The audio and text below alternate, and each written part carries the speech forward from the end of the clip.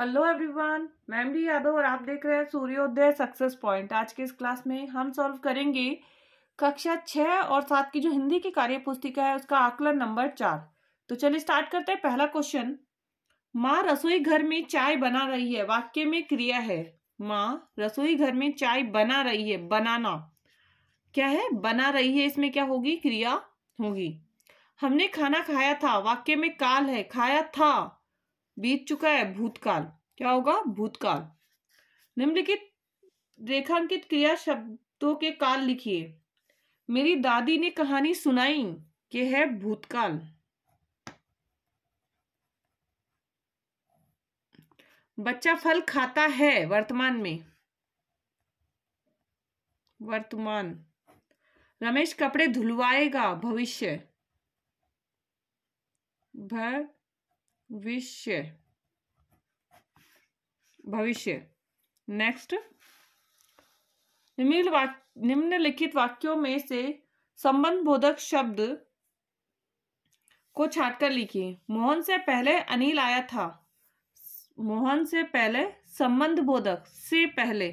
क्या आया था इसमें? से पहले। मेज के ऊपर। के ऊपर।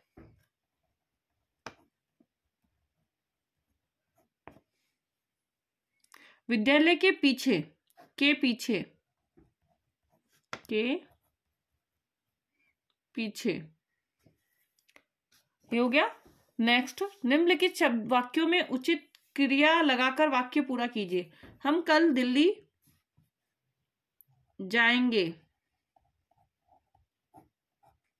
माँ चाकू से सेब काटती है।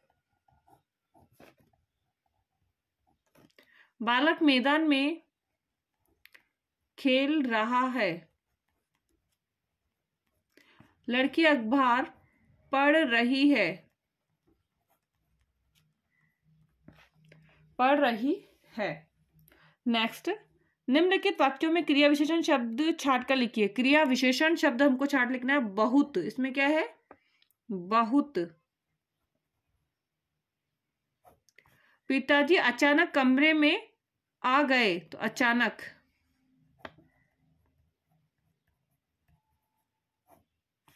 ऊपर चलो, बात करेंगे। ऊपर।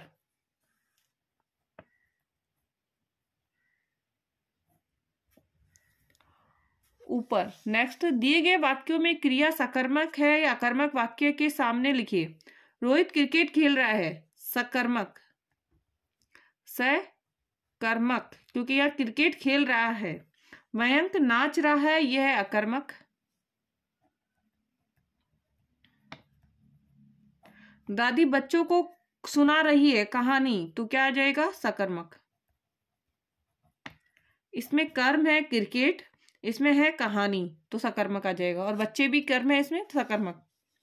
नेक्स्ट निम्नलिखित पद्यांश को पढ़कर दिए गए वाक प्रश्नों के उत्तर दीजिए। तीन रंग का झंडा प्यारा, सबसे सुंदर, सबसे न्यारा। रंग गेहुआ त्याग सिखाता। हरा रंग हरियाली लाता, शांति श्वेत रंग बतलाता। देशभक्त सारे मिल जाओ, इसे उठाकर कदम बढ़ाओ। झंडे में रंग है, तीन रंग का झंडा। कितना है? तीन। झंडे का हरा रंग किसका प्रतीक है? हरा रंग हरियाली का।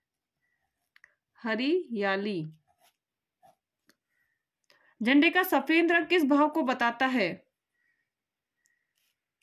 शांति का। शांति को बताता है। सफ़ेद रंग, शांति शांति। को। उपयुक्त काव्यांश का उपयुक्त शीर्षक लिख दिए। झंडा हमारा। झंडा हमारा। या फिर लिख देंगे तिरंगा। तिरंगा